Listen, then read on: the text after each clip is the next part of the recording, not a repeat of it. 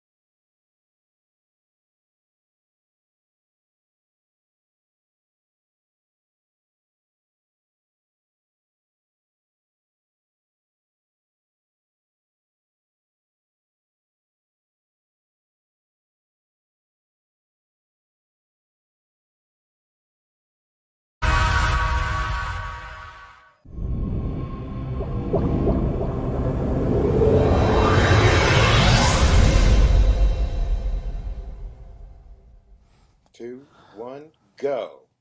Hey everybody, Kent Martz here from Explore Scientific. Welcome to today's episode of First Light Chronicles. It's Wednesday, although it feels like Tuesday. It's Wednesday here because we had a holiday on Monday in the United States. Today we're talking about getting started in astronomy and how do you do it. Uh, there's a couple of ways. Easiest way is to just look up and start learning the constellations wherever you live. But after a little while, you want to progress into, we'll say, pair of binoculars or something like that. But that then leads you into a telescope. And sitting here looking at myself on the monitor, you're going to notice I have earbuds in. We're using a new system. And now I can hear myself in my ears. Boy, that's exciting. About a minute, Yes. 10 seconds late. It's joyous. Ah, Paul got it fixed. Paul's working from home. Nope, it's still there. This is going to be fun. All right, so we're going to talk about a telescope. Uh, it disappeared. Thank you, Paul. Nope, it's even longer delayed. So, anyway, I'm going to take these out one out, maybe that'll help. There we go. It stopped. All right, so I'm going to put one back in. And I dropped it, of course. Paul's at home furiously banging on his keys trying to make it quit, and I think he did. Right, it's That's working. a good thing. You can hear me so now.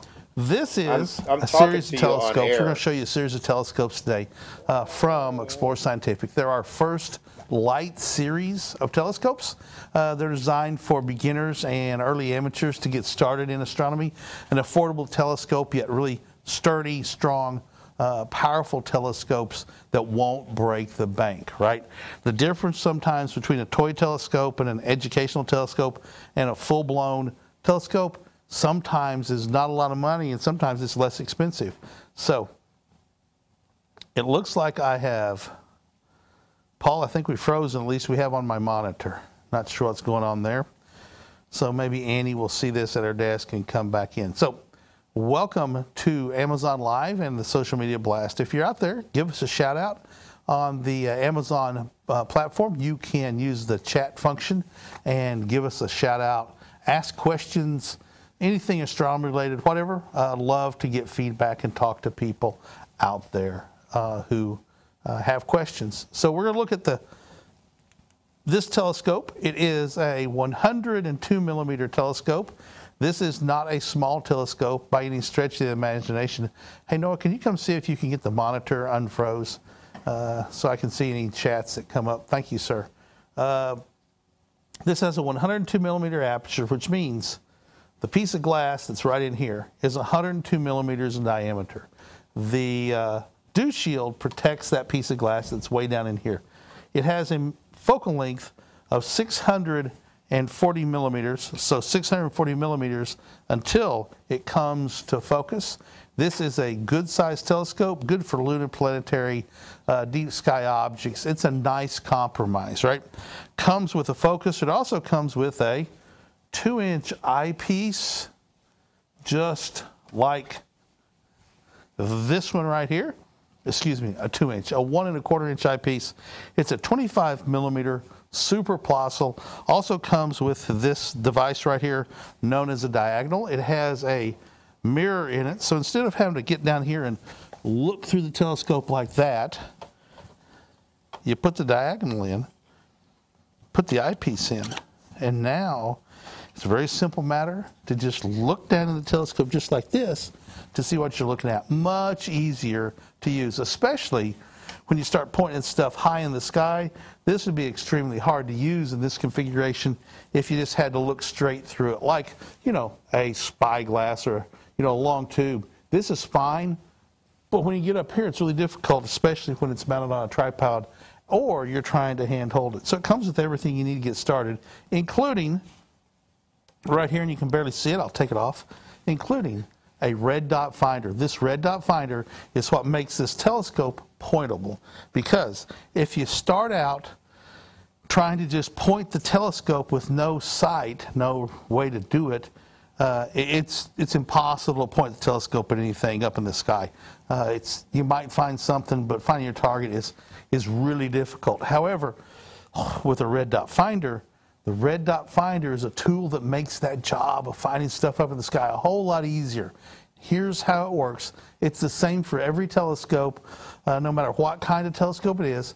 A red dot finder, or um, even if it's a little telescope with a, a more powerful field of view than this zero power, it all works the same way. You do this same process. You find something that's a long ways off. Miles are better than yards. The directions we supply say like 300 yards. So you want to be at least that far off. That'll be fine. Uh, so you can then um, um, point the telescope at something, find it, it's however far it is you can see away, top of a radio tower, a steeple of a church, a stoplight that's blocks and blocks and blocks and blocks down, whatever. Miles are better than yards. Yards are better than feet. So you're going to move the telescope and find that object and center it up in your eyepiece. Now you want to do this in the evening or early morning before the sun gets real bright because when that red dot comes on, it's not super bright and the sunshine is going to make it disappear. Impossible to see. This is designed to be used at night. So you turn it on in the evening, sun's going down, you point it at the top of, let's say, a radio tower, okay? So you point at that radio tower, and what do you do? You make sure the telescope's pointed at the radio tower, dead center, the very top of it, or whatever, some obvious thing you can see. Turn your red dot on, and you can use the controls. There's a little knob here and a little knob on the other side. You turn them, and you can move that red dot left and right, and up and down. And you move the red dot until it's on top of whatever your target is. Let's say it's the top of, a, of the radio tower. Yep, I see that. Just came through. The monitor just got back up. Uh, hello, Cynthil. Uh, nice to see you.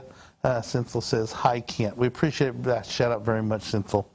So you put your red dot on it and you move it the red dot so it's on top of the radio tower. And now look in here again, and chances are you move the telescope a little bit. No big deal. You simply move the telescope back to what you were looking at, the top of the radio tower, centered in the eyepiece. Make your adjustments again, and when the two match, now you're ready to start looking at something. So, say tonight you're going to want to go out and look at the moon. It's uh, what? Uh, uh, two thirds of the way to full, something like that. It's like seven, eight, nine days old moon. 14 day old moon is generally the full moon. And so you're going to go out tonight and turn on the red dot, and you're going to look through the, the red dot and move the telescope until the red dot is on top of your target. In this case, it's the moon. And then you're going to look in the telescope eyepiece and focus that eyepiece on the moon. If you've done a really good job, what you've done is you've, I'm hearing myself again, Paul. If you've done a really good job, ah, okay, that would probably do it. It was about six seconds after I said it, which makes it very difficult. I'm not a professional at this and can't focus. I, I've, I know it's hard. That's that's a whole new skill to learn. Got to start So- learning to ignore this stuff, Ken. Oh, oh, great, Paul. Are you going out live now too, Paul? Yeah. Uh, okay, Paul's going out live too. Didn't know if I need to relay what he said because he's saying in my head, on or something? And he's uh, saying it to y'all too. So anyway, so you got the telescope. Yeah. If you've done See, a really good job, I'm sitting in the remote control room doing this from Yeah. a laptop with my phone. with this phone, it's technology at its finest. What can I say? So. You're going to move the telescope. You're going to put the red dot on top of the target centered on the moon. Look in the eyepiece. Now, if you've done a really good job, the moon's going to be centered up, but it may not be perfectly centered up. But now that you've found it in the eyepiece, here's what you do you move the telescope left, right, up, and down until you get it centered, and now go back and readjust, make some fine adjustments on that red dot, and get them lined up so they're looking at exactly the same spot. And now, when you want to go look at, uh, we'll say, uh, Saturn, you've checked out the moon, you want to look at Saturn, close to the moon, you're going to just simply put the red dot on top of Saturn, focus the telescope. Saturn should be in the field of view. It's smaller than the moon, So now you can fine tune that red dot even more. And then go look at Jupiter over in the southeastern sky rising after dark. And you can start looking at the planets and get a tour of the planets with your brand new First Light uh, 102 millimeter telescope. We haven't talked about the mount it's on yet. So the mount is called a Twilight Nano mount, okay? It is simple left, right, as you can see right here, up, down. It is in the carousel. Uh, right now, if you go to the, the right one? and I, look, I had the wrong one a minute ago. uh, yes, that's it, right there. So you can move it left, right, and up and down very simply, very smoothly. Nice, easy to use right there. So this is the AR 102 600 Twilight Nano. Now I'm going to switch. Oh, the sound has come back in my head. So six seconds. Whew to switch telescopes real quick to a different telescope and the same mount. Here we go.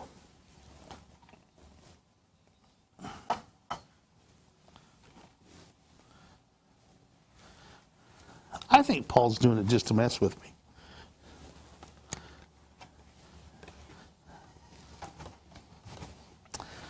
Paul's not denying it. He may be deep in thought, though.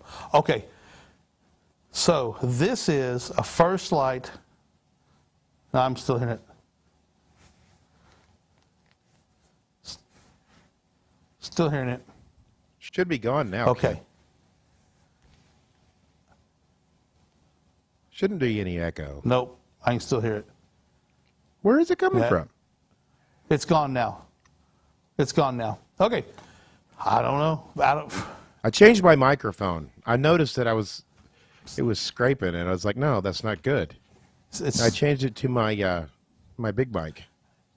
It was It's on still the wrong doing it. mic. Was it? You can't it's do it. uh, still doing it. I'm here about eight seconds late. All right, so this is a First Light 127 millimeter telescope. Now, this is a different telescope than we're looking at. That telescope we were looking at before is just a long tube. Is just a long tube that you look through with an eyepiece, right? You might have a diagonal, but it's still just a long tube. This telescope is different. As you can see, it's a whole lot shorter than the other one. But this telescope has a little secret. And I'll tell you what that secret is. Up here in the front, remember that first one we looked at had a dew shield, and the glass was down in there six or eight inches?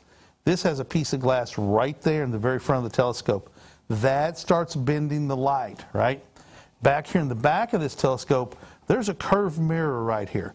That curved mirror really starts bending the light and making it come to a point. Well, it comes up this way, so the light comes in, starts getting bent, hits the mirror, starts getting smaller and coming to a.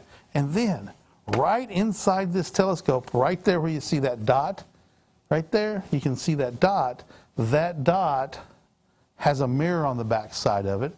That mirror reflects the light back this way, and it comes out of the back of the telescope because that mirror has a hole in it. It comes out of the telescope, goes through a diagonal, comes out of the eyepiece, and goes into your eye. Okay? So at that point, then, you can focus the telescope. And the monitor is frozen again, Annie. So at that point, you can focus the telescope, and everything is good. So you focus telescope right here with this knob right here. It moves that mirror forwards and backwards, bringing the image into focus in your eyepiece. This telescope is bigger around, right? Because it's bigger around, it brings in more light into your eyepiece. It also has a much longer focal length. The telescope we just looked at had a focal length of 600 millimeters. This telescope has a focal length, meaning how long it is before it comes to focus, has a focal length of 1900 millimeters. That's three times longer than the telescope we just looked at, although the tube is much shorter. That shorter tube makes this telescope uh, easier to manhandle or handle, easier to transport, easier to store. That's what's nice about it. Now, a downside to that longer focal length is the images can appear darker. That's why a bigger aperture balances that out a little bit, okay? Uh, so And while we're talking, if you're on Amazon or uh, the social media blast right now, feel free to give us a shout out. We love having conversations with the people who are watching.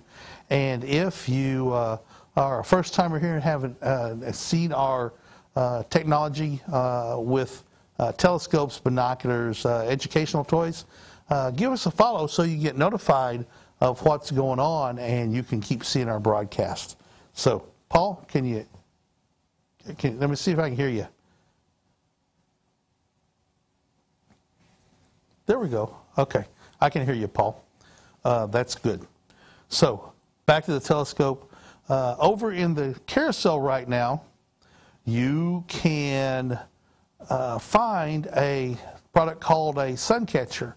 That is a solar filter that you can put on any telescope, and it goes on this end of the telescope right here, so you can use your telescope to look safely at the sun. There it is right now. You can see it over in the carousel as the featured item. Uh, Paul, can you run a video from uh, remotely of the sun catcher? Well, we'll talk about for a minute while he figures out if he can make this happen. Well, I don't think I, remotely. it's not something that I can do because I Yeah. wasn't prepared to That's show okay. it. no big deal. If I was prepared to show it, I could. Yeah, so that's I the didn't way it know you were going to want it. Uh, I've got all Lucy the says, others. Howdy, Kent. Great show as always. So, the Suncatcher is a a um, mylar film. It's a mirror based that rejects almost all the light, and safely lets the light through into your eye. Now, you need to understand how it works. It always goes on the front of the telescope, never back here because focused sunlight coming out of a telescope is like a laser and it instantly will burn through that reflective film. So it goes on the front of the telescope. We sell them in a variety of sizes, one that will fit the telescope you have right now if you have a telescope. You can go to the carousel, select your size. If you don't know what size you need and can't figure it out, real simple. Go on uh, to the Explore Scientific store on Amazon.com and click Contact Seller and Noah over there will get your message that, hey, I want to buy a sun catcher. Here's the kind of telescope I have. And he'll figure out what you need and let you know. And you can buy it then right here through the Amazon site. Um, and ship straight to you. And you'll then be able to look as safely at the sun. Now, what is there to see on the sun? Through this kind of filter, it's a white light filter, so you can see sunspots, you can see some granulation, some fraculate, There's a couple things on like my that. desk. If you want to go over there and get the little ones. Hey, Annie, there's a solar filter on his desk. He said, You want to go over and grab one? Yep. Okay. Annie's going to grab it. So you can oh. see sunspots and granulation on the surface of the sun. You won't see those long, beautiful arches and prominence that you see through other filters. Those are much more expensive. These solar filters are inexpensive and work fantastic. Uh, here's one right here. Um, it is a Suncatcher 4 to 7, and it probably will fit. Look at that.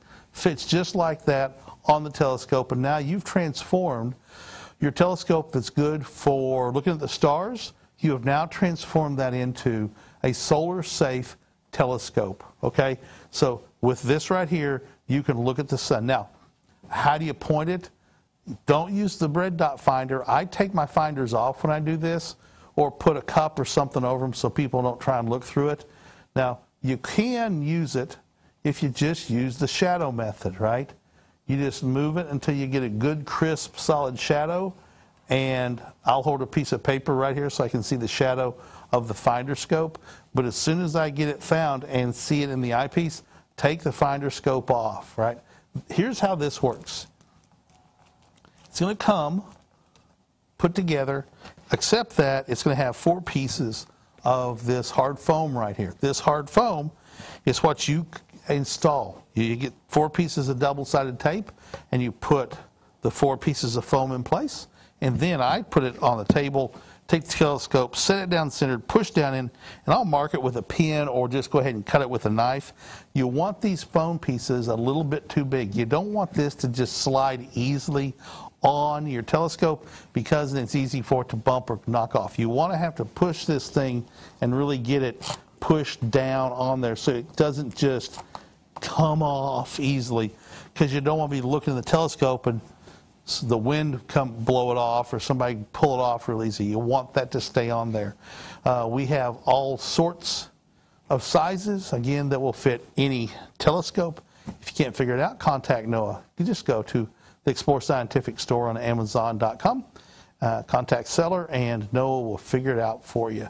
So this is the First Light 127 millimeter Maksutov Cassegrain. That Maksutov Cassegrain talks about the kind of piece of glass here and how the system is put together. This is a Maksutov Cassegrain. You may have heard of a Schmidt Cassegrain, Cassegrain, a Ritchey Chrétien. There's all sorts of different uh, configurations. They all work real similar. Piece of glass, curved mirror, flat mirror, comes out the back, goes to your eye. Now you might notice on this eyepiece there's something attached to it. All the first light telescopes come with that right there. What is that? Absolutely, you're right. It's a smartphone adapter. It's really easy to use. Here's how you do it. Fits in one and a quarter inch eyepiece, which these are hu- 100, 100 1.25 inches right here. The other size of eyepiece is typical, and telescopes are two inch, so they're two inches across, much larger than this one. And this is how this works. It's real simple. You simply slide the eyepiece in and get it all the way down to where the little rubber eye cup is down in there. And you tighten down the set screw just like that. Now, and I get it good and tight. I don't try and baby it. I get it on there. And now you can take your smartphone. And with my smartphone, I have to take it out of the carry case, but that's okay. I wet these little octopus suction cups down uh, with a damp rag, and then I turn my camera on and just put it down until my camera lines up with the circle of the eyepiece, and I stick it on there real good. It also comes with a uh, piece of uh, stretchy uh, elastic material.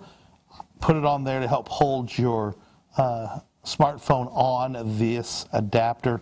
Once it's there, you can simply put it in the telescope and make final adjustments on focus, and off you go. Now, my advice is to get it on something with a with a low power eyepiece, pull it out, put the eyepiece on, smartphone on, put it back in, because what you're looking at is moving, right? So if it's moving across the sky and you know that you keep having to move the telescope this way to follow it, just move the telescope until it's barely in the field of view, and as it moves across the sky, that gives you time to get your smartphone adapter attached and hooked up so it's ready to go. You start taking pictures and then share them uh, wherever you want to with all your friends and neighbors to show them images of what you've been looking at through your first light telescope. All right, say again. Tim Burris says hi. Tim Burris says hi. Hello, Tim. Thank you for that shout out. Now, I'm going to switch telescopes here real quick, and it's a different kind of telescope. So I'm covering the three different kinds of telescopes effectively that are out there. So we've looked at a standard refractor that's just the typical long tube of the telescope, glass in one end and eyepiece in another. Then we looked at a Schmidt Cassegrain, or in this case, a Maksutov Cassegrain, that is a folded light path. And now we end up with sort of looks similar to that 127 we just looked at, right? It's a, about the same length, about the same size, but it's a different kind of telescope. This is called a Newtonian telescope. What that means is, I'll show you real quick. Right here at the end of the telescope, there's no glass, right? There's a center thing in the middle held up by some pieces of metal. That's called the spider assembly or the secondary assembly. There's a little mirror in there that sits at a 45 degree angle. What happens is the light comes in the telescope, comes down to the bottom of the mirror where there's a curved mirror, and that light starts reflecting the light to a central point. But before it comes to focus, it bounces off this flat mirror in here and comes out of the focuser. Moving a little bit to the right to get it on camera for you. There we go. Is that better? And it comes out, and it comes out of the eyepiece right here. So simple, put the eyepiece in. Annie, readjust the camera, please. I can't move so far enough to the right to get this in the camera. So Andy's going to come over here and readjust the camera a little bit so you can see what's going on. So this is known as a Newtonian, a Newtonian telescope. It is 114 millimeters in diameter, which means this diameter is 114 millimeters. The focal length, remember how long everything is, the focal length is 500 millimeters. She's done, Paul. The focal length is 500 millimeters. So this, the longer the focal length, the more magnification it has when you use the same eyepiece. As you can see, it's got a red dot finder, same process.